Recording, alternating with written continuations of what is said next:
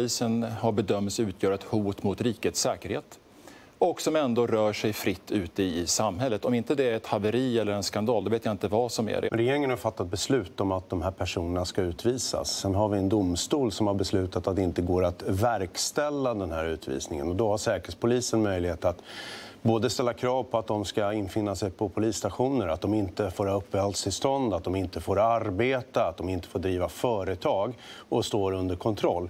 Och jag blir provocerad av de här bilderna, för jag vill ju att de ska lämna landet. När domstolen har bestämt att det inte går att utvisa de här personerna, då kan inte regeringen bryta mot lagen. Jag menar ju att Johan Forssell och Moderaterna spelar teater. Hur då? Eh, de låtsas som att det går att göra på något annat sätt. Men det går inte, vare sig med svensk lag eller med de internationella konventioner som Sverige har skrivit under. Dessutom blir jag provocerad när Johan Forssell på Twitter skriver att en av de här personerna är spårlöst försvunnen. Vad vet Johan Forssell om det? När Säkerhetspolisen säger att de inte kan uttala sig om enskilda ärenden. Mikael Damberg, på dig låter det som att det skulle vara ett större problem att jag hänvisar till uppgifter som, från Sveriges Radio än det som är grundfrågan här, nämligen att vi just nu har sex stycken personer som du själv och Säkerhetspolisen bedömer är hot mot Sveriges säkerhet och som rör sig fritt ute i samhället. Och det är faktiskt så här, Mikael Damberg.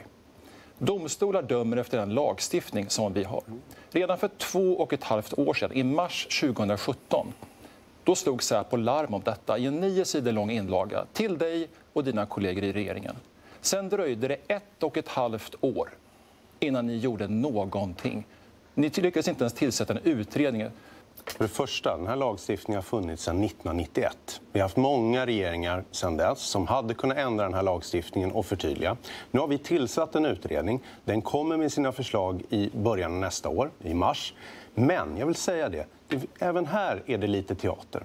Ingenting i direktiven gör någonting åt att de här personerna, om Migrationsöverdomstolen bestämmer att det finns verkställighetshinder, då går det inte att utvisa de här personerna. Om utredningen fanns här så skulle det inte ha spelat någon roll. Det hade spelat roll för att Säkerhetspolisen hade haft ännu vassare verktyg att övervaka och kontrollera de här personerna, vilket jag och Johan Forssell är helt överens om. Det är bara Men det hade inte det här, spelat Johan någon Forssell. roll. Det, Forssell. Det spelar ingen roll i verkligheten.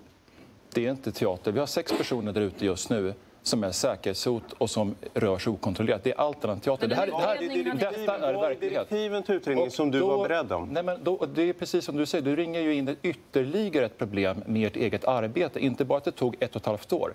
I de direktiv som ni har tagit fram så adresserar ni ju inte ens det här problemet. Det är väl ingen nyhet för regeringen att det finns personer där ute efter två terrordåd som har onda avsikter.